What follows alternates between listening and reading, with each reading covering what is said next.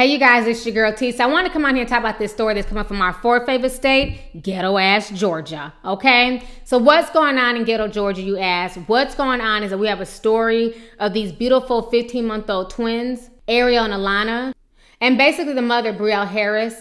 Her sister had gotten into a really bad accident. So she went down to ATL to go check on her sister and she left the twins in the care of their father, okay? So she felt like she was doing the right thing by leaving them in the care of their father. He was supposed to be babysitting them. But instead of babysitting them at home, he decided to take the twins on a car ride. Um, he goes into a home to get drunk to turn up. Meanwhile, his twins are in the back seat of this SUV, basically cooking to death. Once again, this stupid ass loser, his name is Asa North, left his twins in the back of an SUV to turn up in somebody's house and get drunk. And by the time he came out, those twins had died. This entire situation is just disgusting and redamn ridiculous. I want you guys to watch both of these news clips. I'm gonna come back with the rest of my commentary. Breaking news right now tragedy in Carroll County tonight. Twin toddlers die after being left in a hot car.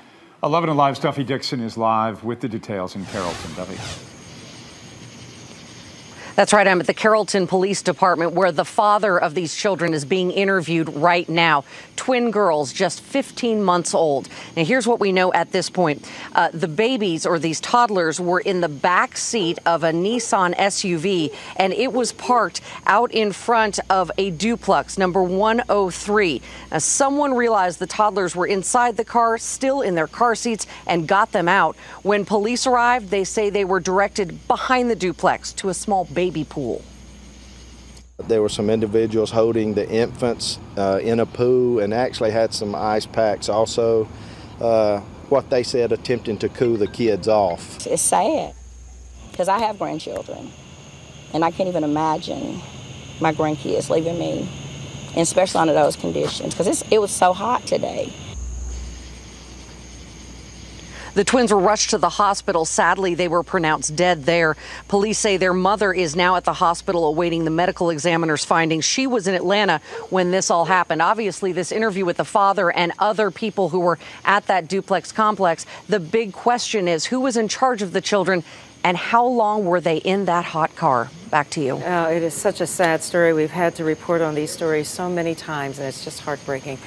All right, Duffie, thank you. As I've said, so many tragedies we've reported on like this before.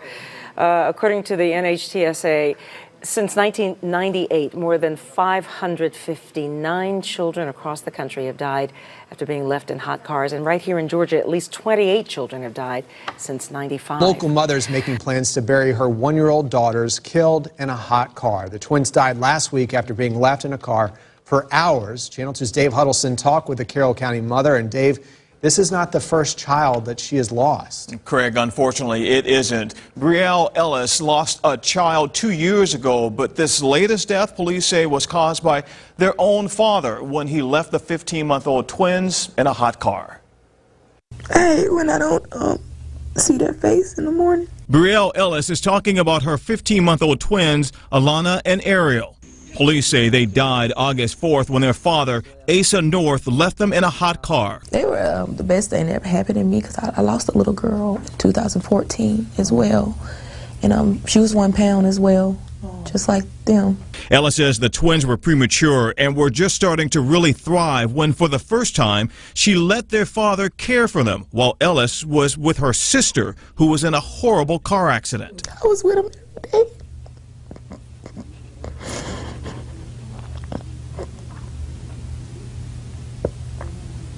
And then one day I left. I just want to tell them sorry. I know God took them to so I could take care of my sister. My kids didn't have any sins. So I know they're happy. Ellis plans to bury her children Thursday, but I would appreciate the help for my girls because I don't have it myself. Through the tears, Ellis said she prays there is no more death. They didn't deserve to die like that. Um, or to die, period. But I know that they're in heaven. The funeral for Thursday is planned in Carrollton. There is a GoFundMe page to help her with the costs. All right, so you guys Go just watched that news clip, and I feel so bad for this mother, especially being that she had lost another child previously, and for her to give birth to twins. You know, not only that was almost like God blessing her for the one that she previously lost. You know what I'm saying? And then for the father to be just so irresponsible. I'm to the point where I'm convinced because I've done so many stories like this on my channel over the years. I'm convinced now in 2016. Hell, I was convinced in damn 2013, okay? Anybody who's caught leaving a baby in a car is doing it on purpose. I'm convinced that people are not putting their babies in cars to die as a way to get out of paying child support, as a way to get out of parenting for their child. There's been so many stories throughout the years on the news. Every year it's being reported do not leave your kids in cars. Your kids will die. The heat factor is this do not leave your baby in the car. Even every winter now it's being announced do not leave your baby in the car. Your child can die of hypothermia. Do not leave your children in the car. How many times does this have to be drilled into a parent's head? It should be common sense. The thing that always pisses me off with these cases is I can bet you nine times out of ten, none of these worthless ass parents ever forgot their cell phone. So you can remember to take your cell phone. You can remember, you know, not to let your cell phone drop, not to leave your cell phone in your car, but you forget your two twin daughters. And it's not like these were newborn babies who were just extremely quiet. You have two daughters, they're 15 months old, so you know they're talking and blabbering and you know probably saying dada and everything else.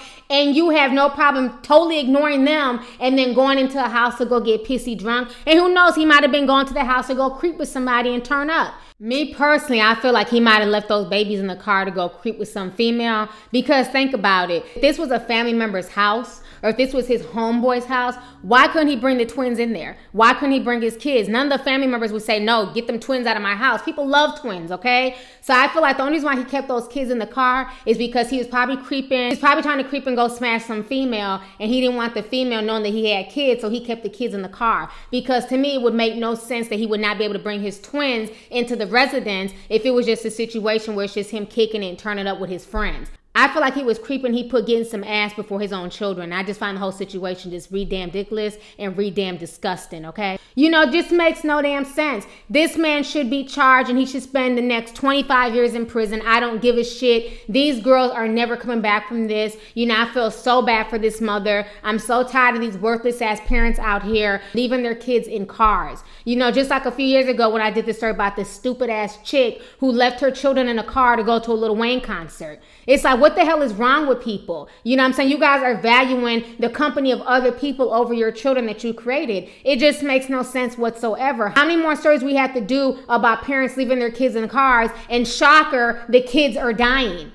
You know, this man knew what the hell he was doing, and for all we know, he probably didn't want to pay damn child support or some shit. It just makes no sense whatsoever how you can leave your kids in a car like that in the middle of the summer down in hot ass Georgia. Like, come on now. So, one thing that's come out that's good from this whole entire tragedy, if we can find anything good in this, is that Tyler Perry has stepped up. He's gonna pay the funeral expenses for these twins. He spoke to the mother, and it's been announced today that he's gonna step up and pay the funeral expenses because she could not afford it. And I don't know if the GoFundMe has raised enough money. But this entire situation is just heartbreaking. I feel so bad for this mother, and that father needs to just rot in jail. You know, I'm just tired of these parents. I don't care if you're a father, if you're a mother. Like I said, to me, it is 2016. If your ass is still leaving your kids in a car during the summer or during the dead of winter, you need to be in jail for the next 20 years because that just shows that you're stupid as hell and you don't deserve to be a parent.